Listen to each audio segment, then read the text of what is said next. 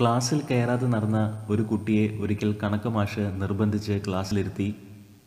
കുറച്ച് കഴിഞ്ഞപ്പോൾ കുട്ടി ചോദിച്ചു ഞാനിവിടെ ഇരിക്കണമെന്ന് മാഷിന് നിർബന്ധമാണോ? നിർബന്ധമാണ് എന്ന് മാഷ് മറുപടി പറഞ്ഞു. ഞാനിവിടെ ഇരുന്നാൽ അതീവ ശ്രദ്ധാലുവായിരിക്കും എന്നുകൂടി കുട്ടി പറഞ്ഞു. എന്താണ് അവൻ അങ്ങനെ പറഞ്ഞത്? എന്ന് അധ്യാപകൻ ഒരു വട്ടം ചിന്തിച്ചു.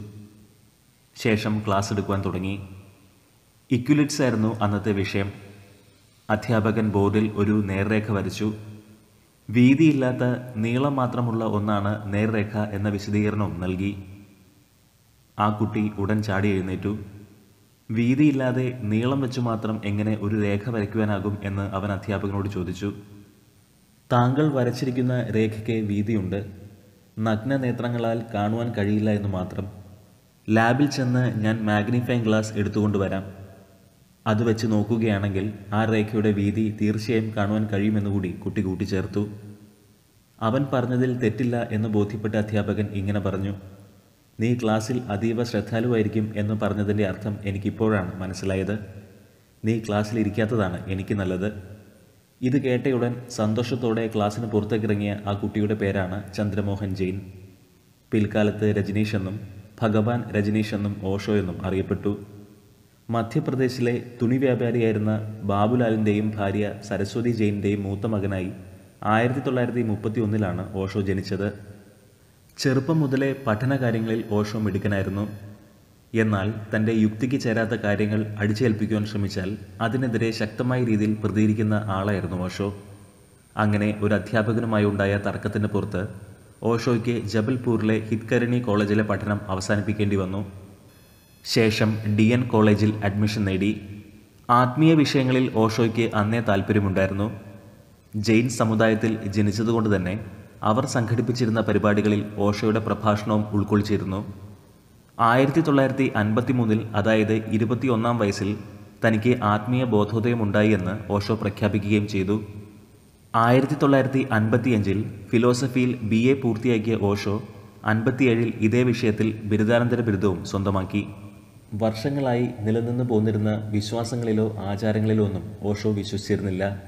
അദ്ദേഹം ഒരു സ്വതന്ത്ര ചിന്താഗതിക്കാരനായി മാറിയിരുന്നു. അതുകൊണ്ട് തന്നെ ജെയിൻ സമുദായം ഓഷോയുടെ പ്രഭാഷണങ്ങളെ പ്രോത്സാഹിപ്പിക്കാതെയായി. രാഷ്ട്രീയക്കാർക്കെതിരെ ഓഷോ ശക്തമായ ഭാഷയിൽ സംസാരിച്ചിരുന്നു. ലോകം കണ്ടതിൽ വെച്ച് ഏറ്റവും കുടില മനസ്സുള്ള ഒരു രാഷ്ട്രീയക്കാരനായിട്ടാണ് ഓഷോ ഗാന്ധിജിയെ വിശേഷിപ്പിച്ചത്. തന്റെ ആശയങ്ങളും കാഴ്ചപ്പാടുകളും വിളിച്ചോതുന്ന പ്രഭാഷണങ്ങൾ അദ്ദേഹം ഇന്ത്യയുടെ പല ഭാഗങ്ങളിലും നടത്തി എങ്ങനെ ഒരു വ്യക്തിക്ക് ശുദ്ധ ബോധാവസ്ഥയിലേക്ക് എത്തിച്ചേരാം എന്നുള്ളതിനെക്കുറിച്ച് അദ്ദേഹം വളരെ വിശദമായി തന്നെ പ്രതിപാദിച്ചിരുന്നു. വിവാഹത്തെ എതിർത്തിരുന്ന ഓഷോ വിവാഹിതരായവർ എല്ലാവരും വിവാഹമോചനം നേടണമെന്ന് തുറന്നടിച്ചു. നിലവിലെ സാഹചര്യത്തിൽ നിങ്ങൾക്ക് ജനിക്കുന്ന കുട്ടികൾ നിങ്ങളെ ആവർത്തിക്കുമെന്നാണ് ഓഷോ കണ്ടെത്തിയത്. ഹൈന്ദവ വിശ്വാസികളിൽ ഒരു വലിയ വിഭാഗത്തെയും ഓഷോ ശത്രുക്കളാക്കി എന്ന് തന്നെ പറയാം. എന്നാൽ അദ്ദേഹം പറഞ്ഞതിൽ കാര്യമുണ്ട് എന്ന് മനസ്സിലാക്കിയ ചിലർ ഓഷോയെ പിന്തുടർന്നു. അങ്ങനെ മുംബൈയിലെ ഒരു അപ്പാർട്ട്മെന്റിലേക്ക് ഓഷോ താമസം മാറ്റി. അവിടെ വെച്ച് പ്രഭാഷണങ്ങൾ സംഘടിപ്പിച്ചു. വിദേശത്ത് നിന്ന് വരെ ആളുകൾ ഓഷോയെ തിരഞ്ഞെത്തി. വിവാഹം വേണ്ട എന്ന് വെച്ച ഓഷോയുടെ സന്യാസപാതയിൽ പക്ഷേ കാഷായ വസ്ത്രത്തിനും ബ്രഹ്മചര്യത്തിനും സ്ഥാനമുണ്ടായിരുന്നില്ല. അങ്ങനെ അദ്ദേഹം പൂനെയിൽ ഒരു ആശ്രമം സ്ഥാപിച്ചു. ഓഷോ ഇന്റർനാഷണൽ മെഡിറ്റേഷൻ റിസോർട്ട് എന്ന് അതറിയപ്പെട്ടു. നൃത്തവും സംഗീതവും മെഡിറ്റേഷനുമൊക്കെയായി ഓഷോയും സന്യാസിമാരും അദ്ദേഹത്തിന്റെ അനുയായികളും അതൊരു പുതിയ ലോകമാക്കി മാറ്റി. നാളുകൾ കഴിയും തോറും പൂനെയിലെ ആശ്രമത്തിലേക്ക് ഒഴുകിയെത്തുന്നവരുടെ എണ്ണം കൂടി വന്നു. ദിവസവും മുപ്പതിനായിരം പേർ ഓഷോയെ കാണാനെത്തിയിരുന്നു എന്നാണ് പറയപ്പെടുന്നത്. ഓഷോയുടെ ഈ വളർച്ച രാഷ്ട്രീയക്കാരെ അസ്വസ്ഥരാക്കി. ആയിരത്തി തൊള്ളായിരത്തി എഴുപതുകളുടെ അവസാനത്തോടെ മൊറാർജി ദേശായിയുടെ നേതൃത്വത്തിലുള്ള ജനതാ പാർട്ടി ഓഷോയ്ക്കെതിരെ തിരിഞ്ഞു.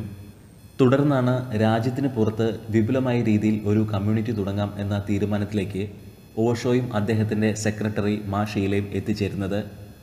ശേഷം അമേരിക്കയിലേക്ക് പറന്നു.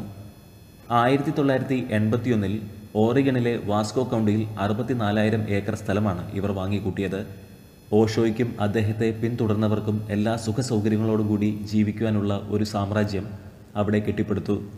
സ്വന്തമായി എയർപോർട്ടും ബസ് സർവീസും ഹോട്ടലും ബാറും കൃഷിസ്ഥലങ്ങളും ആയുധമേന്തിയ കാവൽക്കാരുമൊക്കെ ഉണ്ടായി. തൊണ്ണൂറ്റിമൂന്ന് റോൾസ് റോയ്സ് കാറുകളാണ് ഓഷോ വാങ്ങിക്കൂട്ടിയത്. ഒന്നിലേറെ ഡയമണ്ട് വാച്ചുകളും രജനീഷ് പുരം എന്ന പേര് ആ പ്രദേശത്തിന് നൽകുകയും ചെയ്തു. ഈ കാഴ്ച അമേരിക്കൻ സർക്കാരിനെയും അലട്ടി തുടങ്ങി. ഒരു പ്രദേശത്തെ ഭരണം വരെ കൈയാളുന്ന തരത്തിലേക്ക് രജനീഷ് പുരം വളർന്നു. ശേഷമാണ് അമേരിക്കൻ സർക്കാർ ഇവരെ പുറം തള്ളുന്നതിനായി നടപടികൾ തുടങ്ങിയത്. ഇതിനിടെ ഓഷോയുടെ secretary Ma Sheela U S attorney Charles ടേർണറെ വകവരുത്തുന്നതിനായി പദ്ധതിയിട്ടു. എന്നാൽ ഇതിൽ ഓഷോയ്ക്ക് പങ്കില്ല എന്ന് അദ്ദേഹം വിശദീകരിച്ചു. ഇത് ഓഷോയും മാഷീലയും തമ്മിൽ തെറ്റുവാൻ കാരണമായി. അങ്ങനെ മാഷീല രജനീഷ് പുരത്ത് നിന്നും ഒരു സുപ്രഭാതത്തിൽ കടന്നു കളഞ്ഞു. ശേഷമാണ് ഓഷോ അറസ്റ്റിലാകുന്നത്. പന്ത്രണ്ട് ദിവസത്തോളം അദ്ദേഹം ജയിലിൽ കിടന്നു. രാജ്യം വിടാൻ സന്നദ്ധത അറിയിച്ചതോടെ ഓഷോയെ വിട്ടയച്ചു. അങ്ങനെ അമേരിക്ക ഓഷോ രജനീഷിനെ ഡീപ്പോർട്ട് ചെയ്തു. പിന്നീട് ഇരുപത്തിയൊന്ന് രാജ്യങ്ങൾ ഓഷോയെ വിലക്കി. ശേഷമാണ് ഓഷോ പൂനെയിലെ ആശ്രമത്തിലേക്ക് തിരിച്ചെത്തുന്നത്. ആയിരത്തി തൊള്ളായിരത്തി എൺപത്തിയഞ്ചിൽ പൂനെയിൽ തിരിച്ചെത്തിയ ഓഷോയുടെ ആരോഗ്യാവസ്ഥ മോശമാകുവാൻ തുടങ്ങി. അമേരിക്കൻ ജയിലിൽ കഴിഞ്ഞിരുന്ന സമയത്ത് തന്റെ ശരീരത്തിലേക്ക് താലിയം പോലെയുള്ള ഒരു സ്ലോ പോയിസൺ അവർ കടത്തിവിട്ടു എന്ന് ഓഷോ ആരോപിച്ചു. തന്റെ മുടിയും താടിയും അമിതമായി കൊഴിയുന്നുവെന്നും അകാല വാർദ്ധക്യം തന്നിൽ പിടിമുറുക്കിയിരിക്കുന്നുവെന്നും ഓഷോ തുറന്നു പറഞ്ഞു. അഞ്ച് വർഷങ്ങൾക്ക് ശേഷം ആയിരത്തി തൊള്ളായിരത്തി തൊണ്ണൂറിൽ തന്റെ അൻപത്തി ഒൻപതാം വയസ്സിൽ ഓഷോ മരണപ്പെട്ടു. ഹൃദയാഘാതമാണ് മരണകാരണമായി പറയപ്പെടുന്നത്. എന്നാൽ അമേരിക്കൻ സർക്കാർ ഓഷോയ്ക്ക് വിഷം നൽകിയിരുന്നോ എന്ന കാര്യത്തിൽ ഇന്നും ഒരു സ്ഥിരീകരണം വന്നിട്ടില്ല.